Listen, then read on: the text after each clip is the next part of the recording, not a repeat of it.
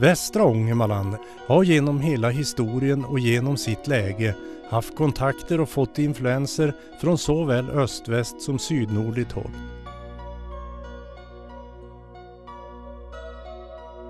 Här har funnits och finns fortfarande många gränszoner vilket gör området unikt.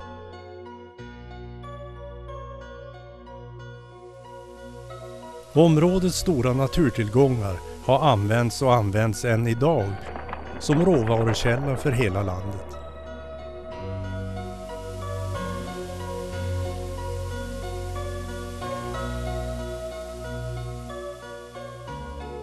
Skogen och de stora älvarna ger området dess karaktär.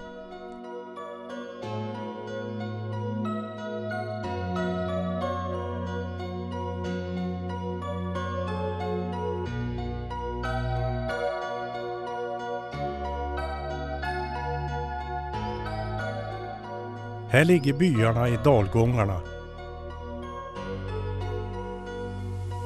Vid Faxälven, Fjällsjöälven och vid Ångermanälven.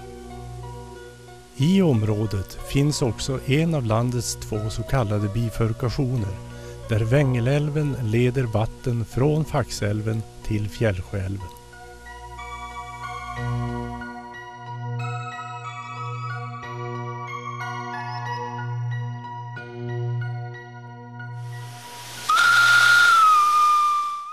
Genom västra Ångermanland går Forsmo-Hotingbanan, en järnväg som byggdes i början av 1900-talet.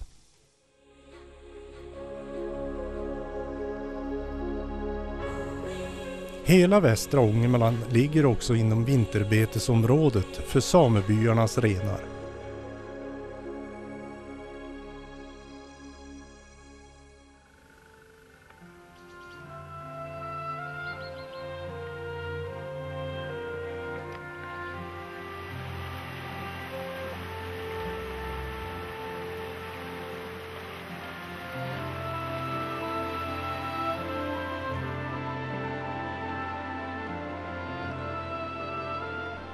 Ute i naturen, i landskapet och på hembygdsgårdarna finner du västra Ångermanlands historia.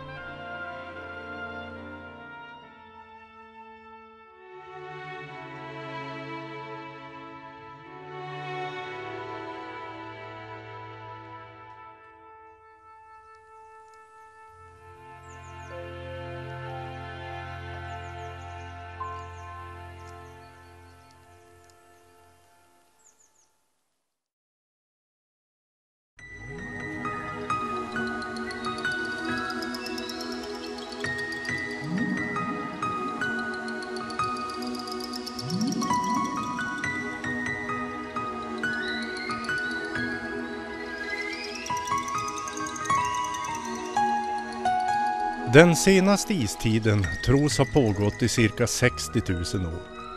Det väldiga istäcket som bredde ut sig över Skandinavien var i våra trakter 3-4 kilometer tjockt. För cirka 9300 år sedan började inlandsisen dra sig tillbaka från det område som nu är Västernorrlands län. Mängder av vatten från isen forsade mot havet och isälvar bildades.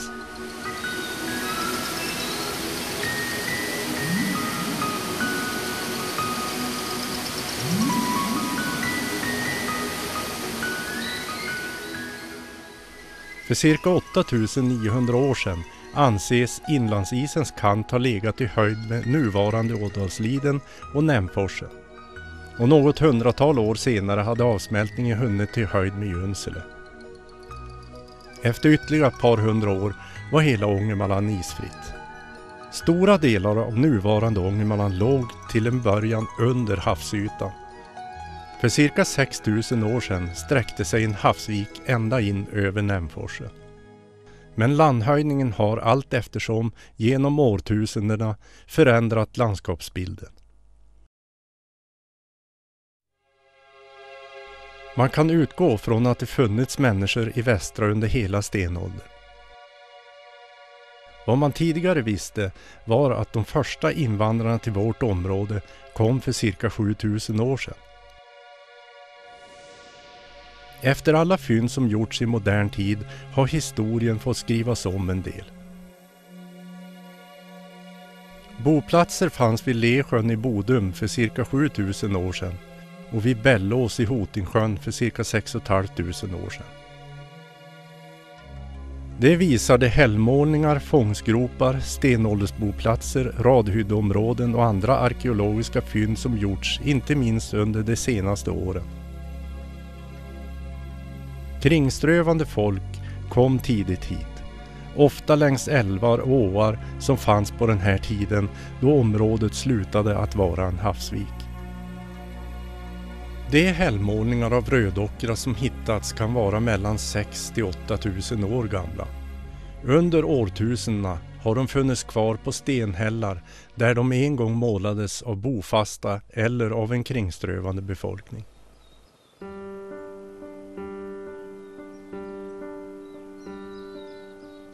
I västra Ångermanland, i Ramsele och Fjällsjötrakten finns landets hällmålningstätaste område.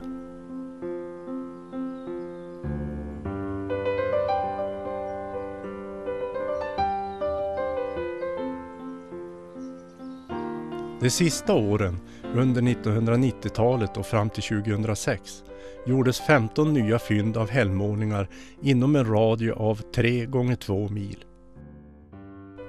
Vid Boforsklippen finns också en unik liggande målning.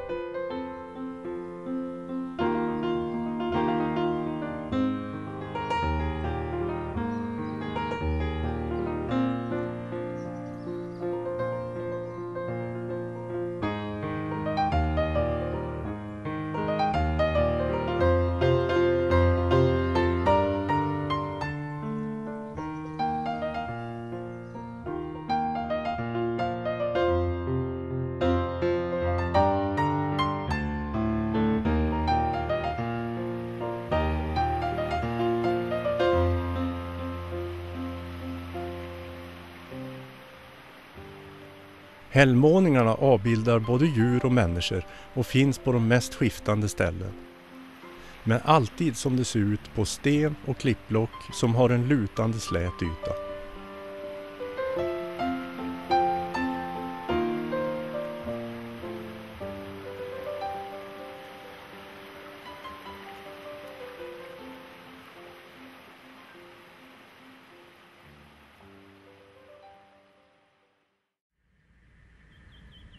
För mer än 6000 år sedan kom de första hällristningarna till vid Nämforsen. Traditionen att rista figurer i forsens hällar tros ha fortsatt ända fram till mitten av bromsåldern, cirka 1200-talet före Kristus. Kanske var det så att ristandet nådde sin höjdpunkt för cirka 4000 år sedan. Det finns omkring 2300 figurer och Nämforsen är därför ett kulturarv av hög internationell klass och en av de absolut största enskilda hällristningsplatserna i norra Europa.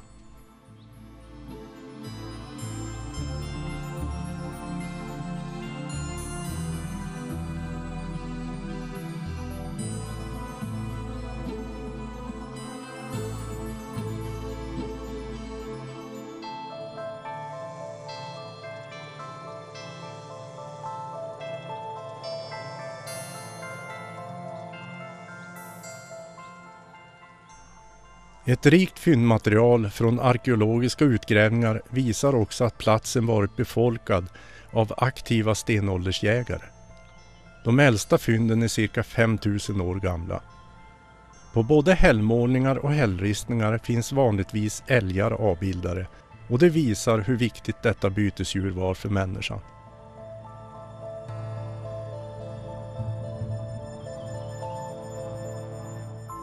I samband med hällmålningarnas förekomst finns också ett stort antal fångsgropar i ett visst mönster.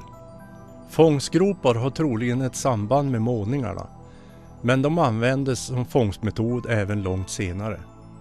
Förekomsten av fångsgropar är mycket stort.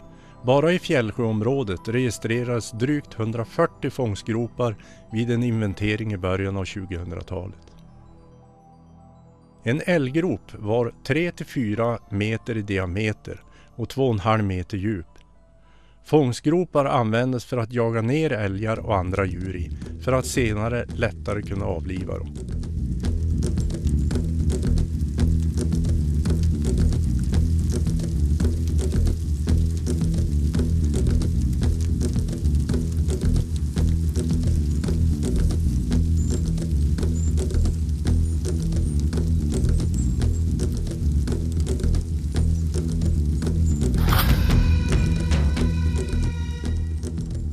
Norrland finns cirka 30 000 kända fångstgropar och inte förrän på 1860-talet förbjöds fångstgroparna som jaktmetod.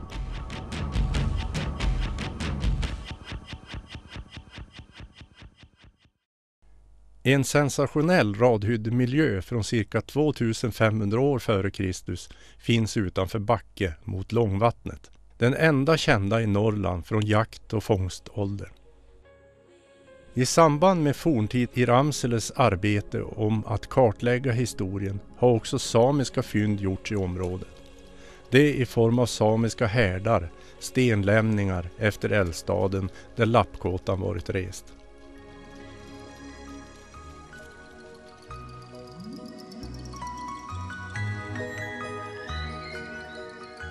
Direkt efter istiden var här ett varmt och torrt klimat och för cirka 5 8 000 år sedan inleddes ett atlantiskt klimat och ek, alm, hassel och lind kunde växa här i älvdalarna. För cirka 2 500 till 5 000 år sedan blev det svalare och därefter inträdde en klimatförsämring. Det var den period som inträffade under slutet av bronsåldern och början av äldre järnåldern, 500-talet år före Kristus. I västra Ångermanland pågår fortfarande landhöjningen och fortfarande hittas spår här från forntidens människor.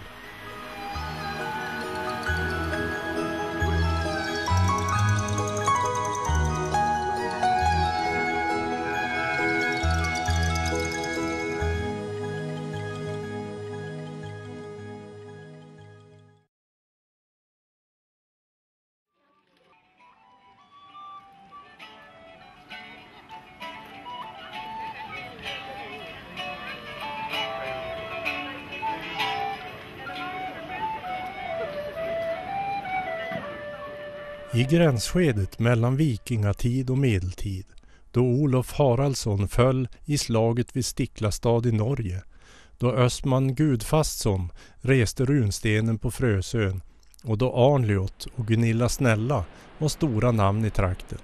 Då utgjorde Nämforsen tröskeln till det stora resursområdet i Ångermanälvens källområde. Trakten kallades allmänt för Finnmark i betydelsen lappmark.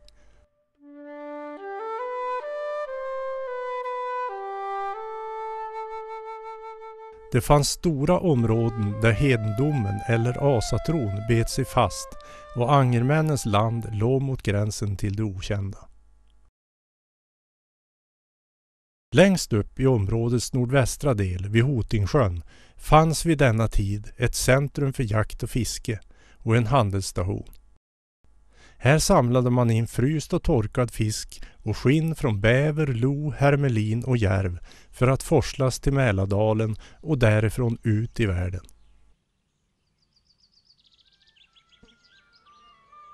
Skinn var omåttligt populärt för den medeltida överklassen. Jakt och fiske var viktigt och man åt mer kött på den här tiden än senare århundraden, även om bröd täckte största delen av kaloribehovet. Armborst och pilbåge var tillsammans med olika fällor och fångstgropar jägarens verktyg. I de flesta hushåll lagade man mat över öppen eld. Eldstaden fanns mitt i huset för att utnyttja värmen från elden så effektivt som möjligt. I Uppsala växte Sveriges religiösa centrum fram och politiskt försökte man säkerställa gränsen mot Jämtland som då tillhörde Norge. Samhället vid Hotingsjön finns inte kvar men väl udden där det begravt sina döda. Fynden i Hotinggravarna ger en bild av kontakter med avlägsna platser.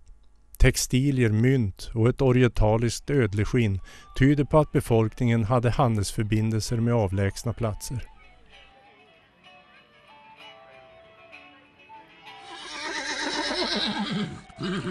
Som en del av medeltidens struktur i Sverige och Europa fanns riddaren som ett viktigt inslag.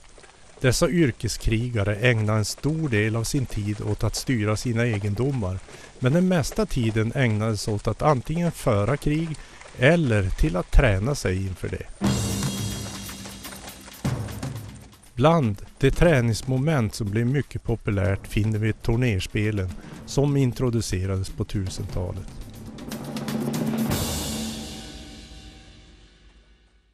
Under medeltiden förändrades samhället på flera sätt. En ny religion fick sitt fäste och en statsmakt växte fram. Det tycks vara så att man haft en annan kultur i Ångermanland som var nära besläktad med Tröndelagens.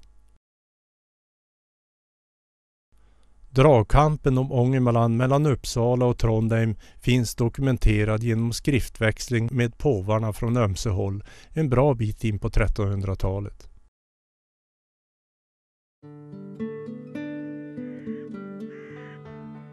Ångermanlands centralbygd låg där vi idag finner Styrnäs och Torsåkers kyrkor på var sida om Ångermanälven.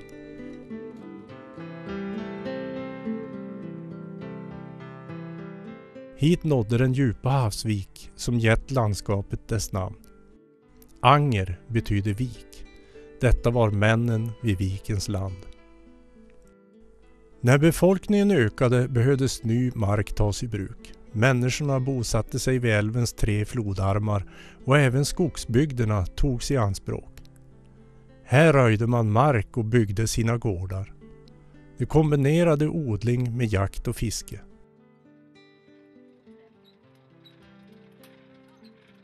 Marknader uppstod på flera platser. I Gulselet i Junsele socken fanns en betydande handelsplats där samerna och handelsmän träffades och liknande platser fanns också i Ramsele och Fjällsjö socknar. Under slutet av 1200-talet murades kyrkor i Ramsele och Ådalslidens socknar och därmed var det den kristna tron och kyrkan som styrde människornas liv.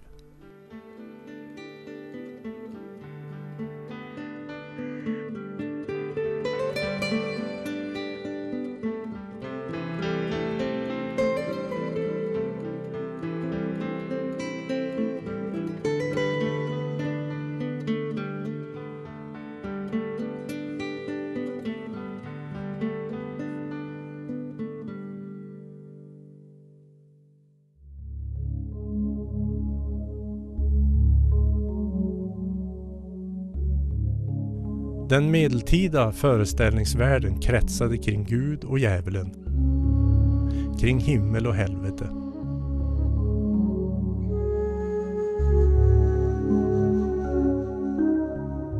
Människorna fick kraft att leva ett rättskaffens liv genom deltagande i gudstjänst, bön och bikt. Hon skulle gottgöra det hon handlat orätt. Hon skulle bli vän med sin ovän. I mitten av 1200-talet indelades området i socknar och sockenprästen fick den svåra uppgiften att undervisa människorna i den rätta läran.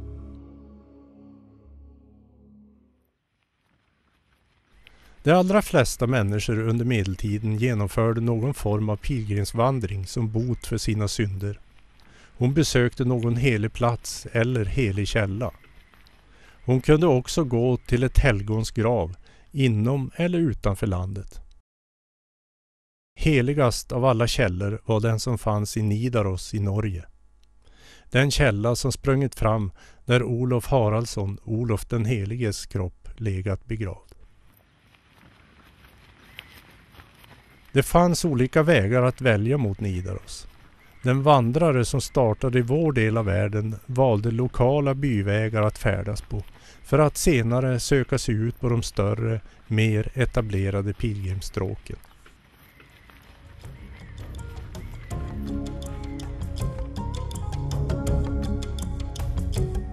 På 1300-talet blev vädret sämre och det ledde till missväxt och svält. Omedelbart därefter drabbade digerdöden befolkningen med full kraft och många byar blev nästan tomma på människor. Upp till 50 procent av befolkningen dog på vissa platser i Europa och många byar blev helt tömda på människor.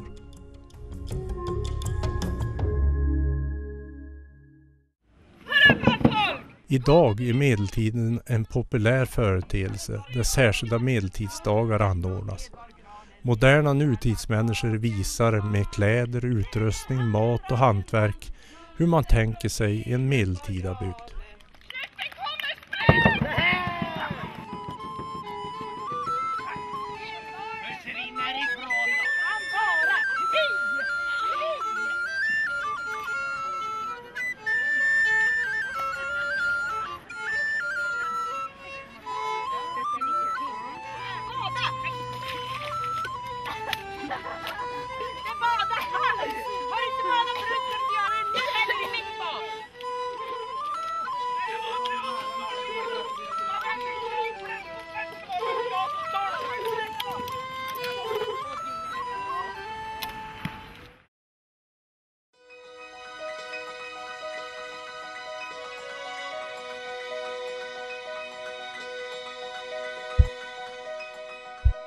Under 1500-talet började det svenska folket att hämta sig efter 1300-talets digerdödsepidemi.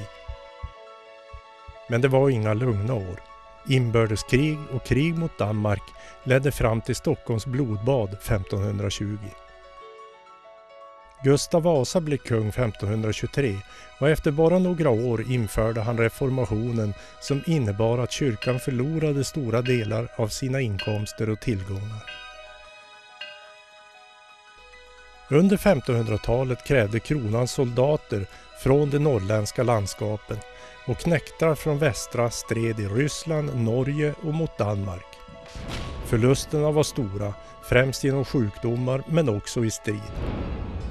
Gustav Vasa beslutade också att alla marker som var obebyggda skulle tillhöra kronan och att bönderna skulle betala skatt för sina gårdar. Allt detta öppnade för en invandring från Finland eftersom stora markområden var obrukade. Under 1600-talet avlöste krigen varandra och man stred i Polen och Tyskland men också på närmare håll.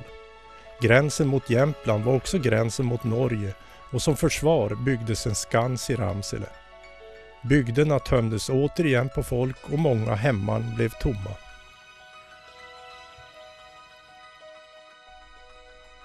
Samerna, som tidigare betalat skatt i form av skinn, blev nu tvungna att betala i renkött och fisk istället och fick ändra sina levnadsförhållanden från jägare till nomader med större renflockar som krävde stora betesområden.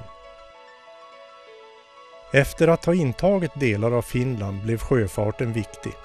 Drängar, torparsöner och bondsöner som inte hade någon gård att ärva blev båtsmän. Sverige var indelat i skeppslag där varje lag ansvarade för att rusta ett krigsskepp. Edsele skeppslag skulle tillsammans med Ramsele, Helgum och Fjällsjö socknar utrusta ett skepp liksom Ådalslidens skeppslag med Resele och Junsele socknar. Efter freden med Danmark 1679 började en flottstation byggas i Karlskrona och de första båtsmännen där var alla från Norrland och Finland. I den tvångsförflyttningen var 13 båtsmän från vårt område i västra Ångermanland. Efter ytterligare några år blev båtsmännen yrkesmän i statens tjänst. De fick bo kvar i sina hemsocknar och skulle förses med bostad och mark genom böndernas försorg. Torpet bestod av stuga med förstuga, kök och kammare, lagård, vedbod och lada. Under tjänstgöringstider ansvarade roten, det vill säga bönderna, för att båtsmännens familj fick den hjälp som de behövde. Roten tilldelas alltid ett namn och båtsmännen fick också detta namn. I Junsele fanns båtsmännen Gröner, Trygg och Kompass, Enfaldig i Vängen, Kring i Bodum eller Ripa i Tåsjö. Båtsmännen fick resa och lärde sig mycket.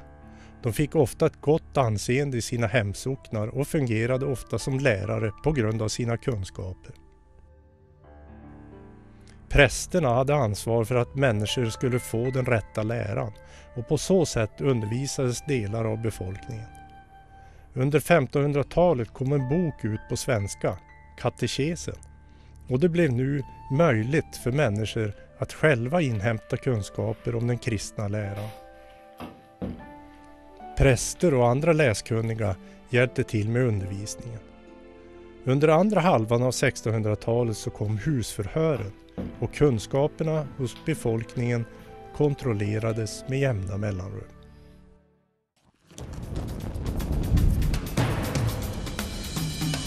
Under 1600-talet rådde nödår till följd av svåra klimatiska förhållanden. Som ansvariga till de eländiga tiderna utsågs trollkonor och trollkarlar till syndabockar och häxprocessernas tid startade i Europa. Trolldom straffades med döden. I de inre delarna av vårt område finns inte så mycket belagt om detta men längre ner mot kusten ägde stora häxprocesser rum och flera människor blev avrättade.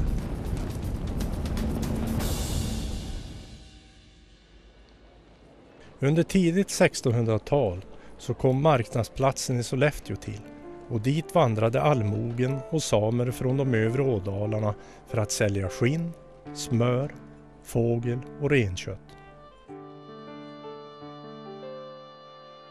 De invandrade finnarna bröt och brände ny mark och byggde sina hus i obebyggda områden. Äktenskap mellan svenskar och finnar blev snart vanliga och nya bynamn uppstod. Befolkningen ökade stadigt men under början av 1700-talet sjönk antalet människor igen på grund av ryssarnas härjningar och Karl XIIs krig. Sverige var fortfarande en stormakt men efter Karl XIIs död ingick Sverige en rad freder och förlorade sin stormaktsställning. Under 1700-talet föddes och verkade bland annat Carl Michael Bellman, Carl von Linné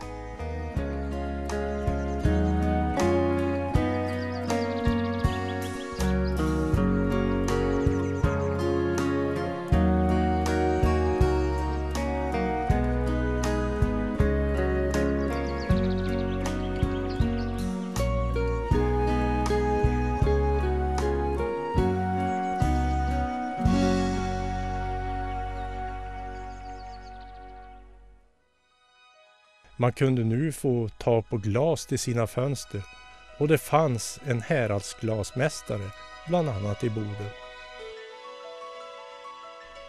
Från 1000-talet hade vårdkasar stått på de högsta bergens toppar, redo att tändas när fara hotade. Och 1721 brann vårdkasarna för sista gången längs våra ådalar och det var när ryska mordbrännarflottan seglade in i Ångermanälven. Läsförmågan var ganska så bra under den här tiden, men skrivförmågan var det sämre ställt med. Det skulle dröja ända in i mitten av 1800-talet innan namnteckningar blev vanliga istället för bokmärken.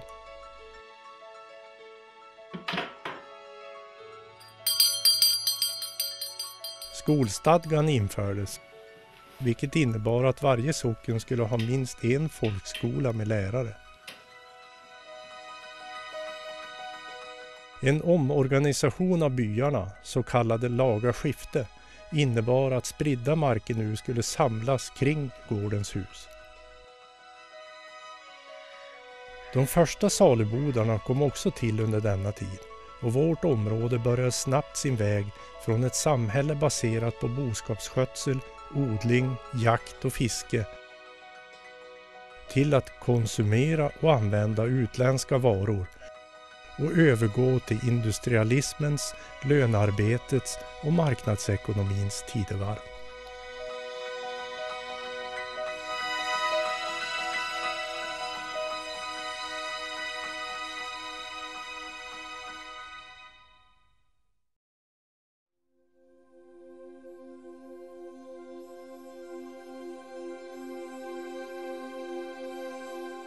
För de människor som bröt och odlade våra ådalar var skogen mest ett hinder, men en nödvändighet.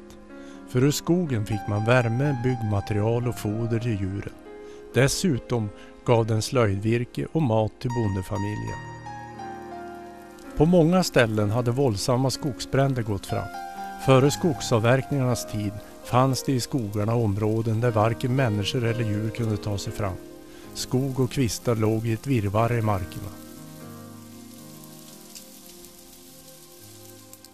Träden hade inte något större värde mer än till ved, material till hus, verktyg och möbler. Under mitten av 1500-talet började man fundera över skogarnas slumrande rikedomar. Kronosågar byggdes på lämpliga platser i Ångermanland för sågning av plank till olika ändamål. Det skulle gå ytterligare 150 år innan skogsavverkningen för förädling av virke, så kallad stockfångst, började bli aktuellt i våra trakter och inte förrän i mitten av 1700-talet började skogen här få ett visst saluvärde. För att trygga virkesförsörjningen till järnbruk och vattensågar så hade tydliga gränser dragits mellan kronans skog och de privata byskogarna. En kommission tillsattes som ville höra befolkningens inställning till en upprensning av Fjällsjöälven och Ångermanälven.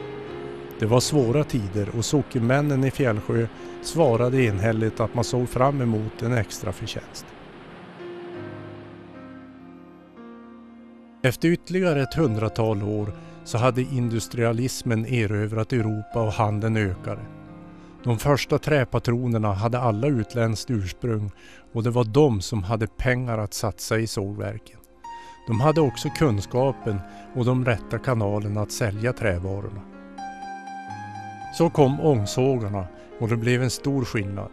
Nu behövdes inte vattenkraften på samma sätt och man kunde bygga sågar längs kusten istället där fartygen lättare kunde lastas. 1852 köpte J.A. Kjellber och Söner ett hemman i Backe som kom att vara centrum för skogshandeln i västra och här bedrevs också jordbruk i stor skala. Herrgården heter idag Fjällsjögården.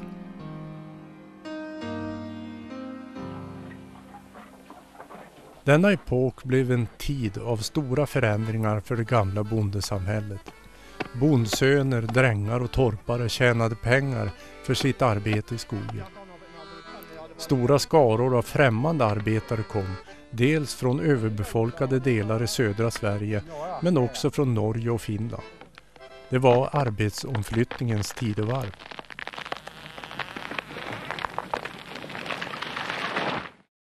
I Backe fanns också stadens avelscentrum för kor av fjällras och hästavel av nordsvensk ras.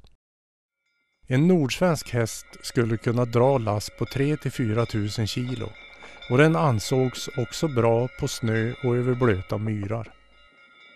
Oh ja.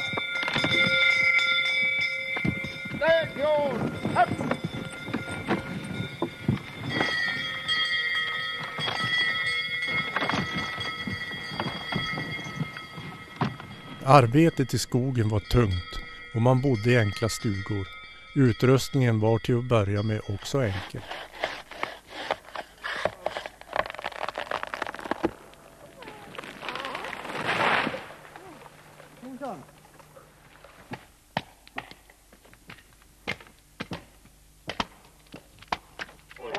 Gå stilla hästan och skäl och elände. Ja, kan väl bli själv med minnet. Ja.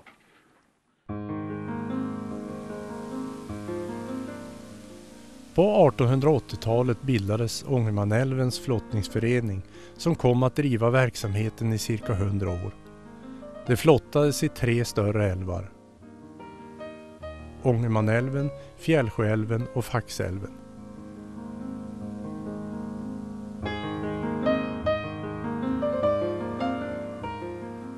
Frisendals flottastaty i Sollefteå med tre flottare symboliserar just dessa tre älvar.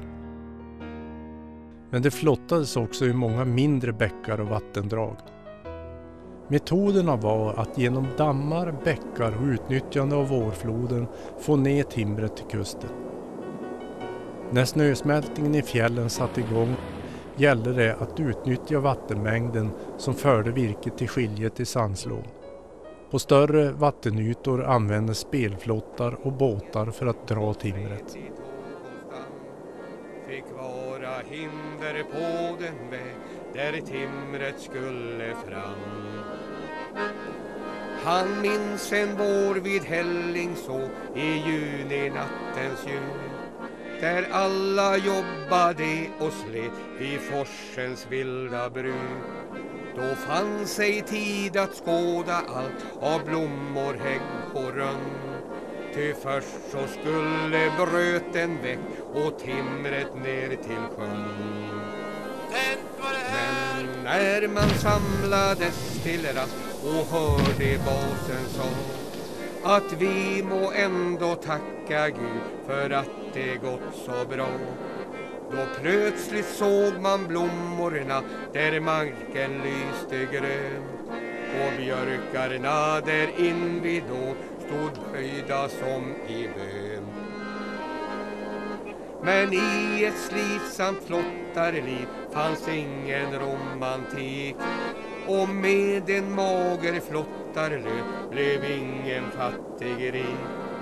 Men att få känna skogens doft och leva stark och fri och att få höra forsens brus var deras melodi.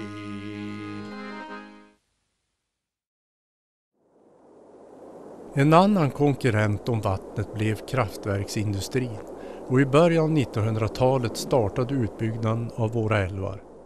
Befolkningen ökade i byarna och människor hade gott om arbete på gårdar, i skogen, med flottning och också på kraftverksbyggen längs våra älvdalar.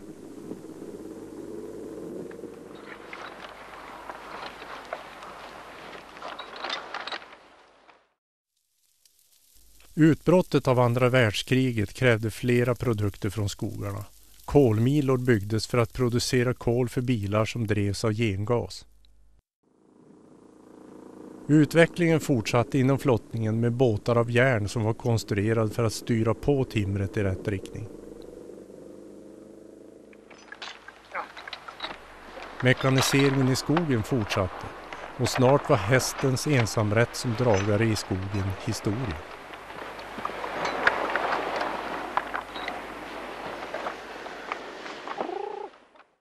Motorsågen gjorde också sitt intåg.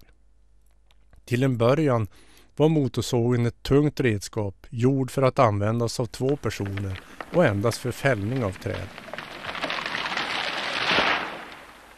Utvecklingen gick sedan mot allt lättare motorsågar med högre hastighet på kedjan för både kapning och kvistning. Traktorerna utvecklades till speciella skogsmaskiner. Lastbilen kom in som en timmertransportör i större utsträckning. Flottningen var fortfarande överlägset billigast men konkurrensen om vattnet hade ökat genom antalet vattenkraftverk.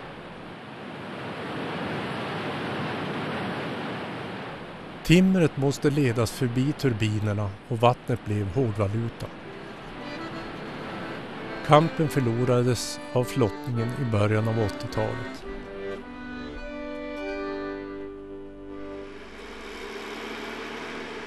Skogsbruket mekaniserades ytterligare och en maskin kan nu göra många människors arbete.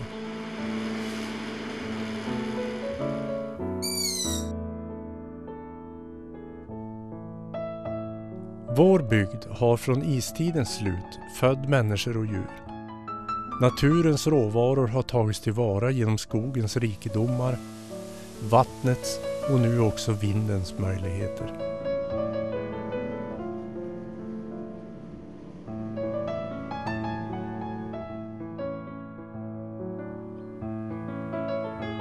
Skogen är en viktig näring och naturen är en resurs även för besöksnäringen som ökar i vårt område.